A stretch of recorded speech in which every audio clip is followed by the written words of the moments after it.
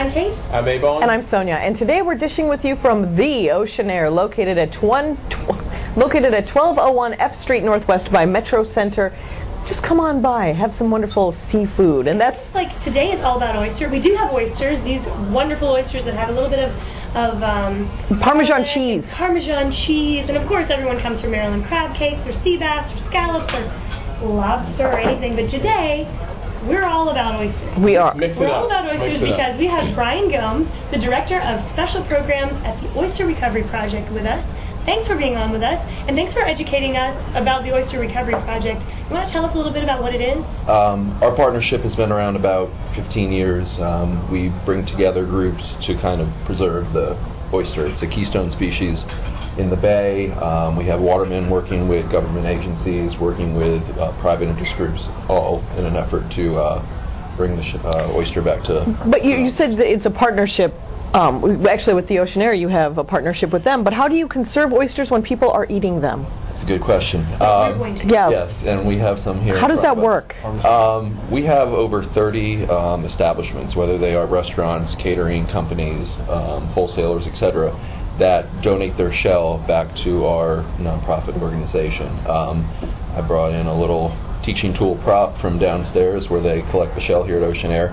That's and, convenient. Um, so, in the what's going on now in the bay in the wild, um, runoff pollution. You have a layer of silt on the natural occurring oyster reefs um, in the bay and rivers. When the oysters go to spawn, the larvae swim around for a couple weeks, and when they're ready to put their root down and live somewhere for their life on another oyster shell, uh, hopefully, um, in the wild, that silt layer doesn't allow them to attack and Oh. off and die very low percentage of reproduction. Um, Oyster Recovery Partnership um, kind of helps that out with a Head Start program where the shell that we collect from all these restaurants gets clean, dried, and aged for about a year and would look very much like this shell. And then in a separate facility at the hatchery, they take um, raise the water temperature of fertile oysters, play some Barry White music, get, some, get some action going. then the spawn is on, and all those I baby like that. That is on. T-shirt. That's. Yeah, do you sell that on your website? We'd like to have some of those. So funny. Raise money that way. I, I always have ideas. So how did we how did we learn that um, this was a problem? Like, how did you know all this from? me? Like, I would know. I have no clue. I would just go to the store and eat oysters And then ch- toss it. And, then toss them. Yeah. So how do we know that there was a problem with um, the oysters not attaching and the silt and everything else? um, to kind of go historical for a second, over 400 years ago when Captain John Smith came up the bay and the water was crystal clear and they were running aground on oyster reefs everywhere, um, the entire bay could be filtered by the oyster population in just a few days. Wow. Today, that same oyster population, it takes over a year for that process to happen. so that's why the bay is like almost, not polluted almost, but like there's a lot of there's a lot of that is a large crap reef, in there. Yes, Uh, not- not because these good. guys, an adult oyster can filter 50 gallons of water a day.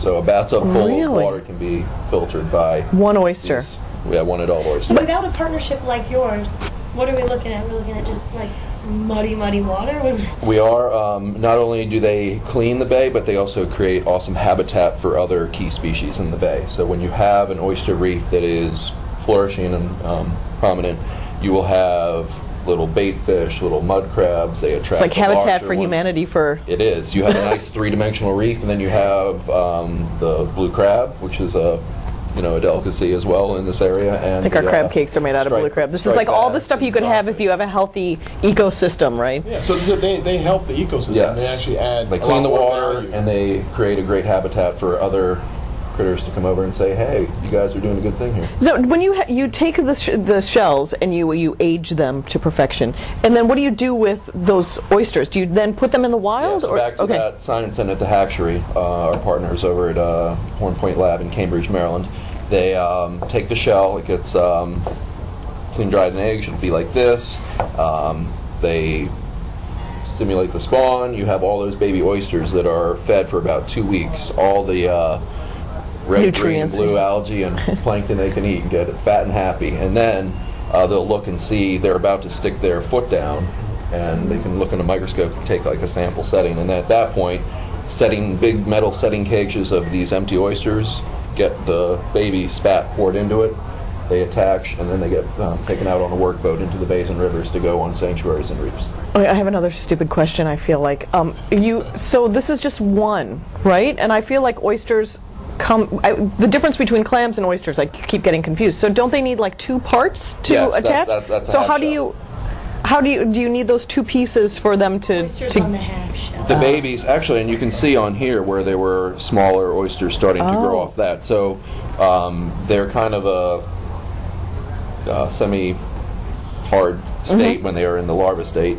They go onto there, and then they'll start growing off of there, and they'll grow their two sides of the shell. Oh, okay. This is just kind of an anchor. Oh, I see. shell. Oh, so they're not actually sort of. It's not like a little piece of They- fish coming in and the just. same sh- it's not Right. like that's what I was. They're It's not moving like. into another oyster's home. Right. They're Yeah, just yeah, using yeah. the They need something to the rivet to it. that they Okay. attach to. Huh. And um, It's an ideal situation for them to attach and live. And Yep. grow. And Now, this isn't the only place in the United States where oysters grow.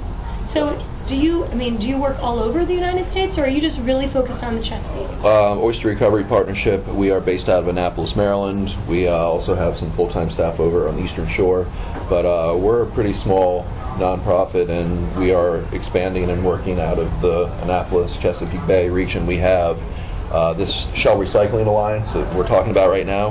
Has um, partners here in DC. In addition to the Oceanaire, we do Old Ebbitt uh, Grill and um, sometimes the Reef up in uh, Adams Morgan donate their shell when they do oyster festivals. Um, and then we have about a dozen restaurants in Baltimore, about eight in Annapolis, and about a handful in Ocean City as well. That was just started this summer. So you Um, clearly want people, whenever they're going out for their seafood, when they want know they want oysters, to choose a restaurant that, that works with you on this project. How do they know whether or not they're working with you?